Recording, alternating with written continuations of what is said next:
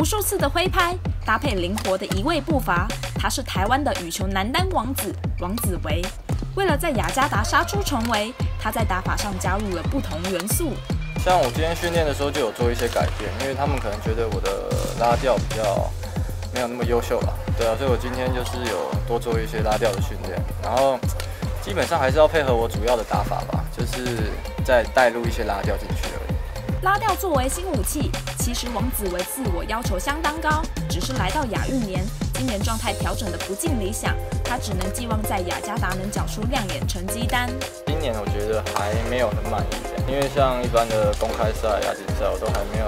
到八强或者是四强，对啊，所以我希望后面的比赛可以再突破。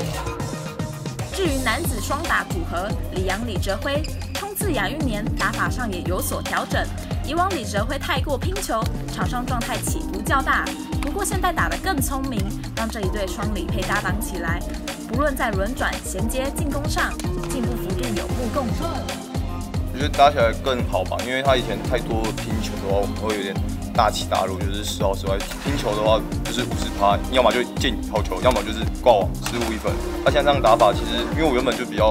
稳定，我不会特别去乱失误一些球，那这样我们可以。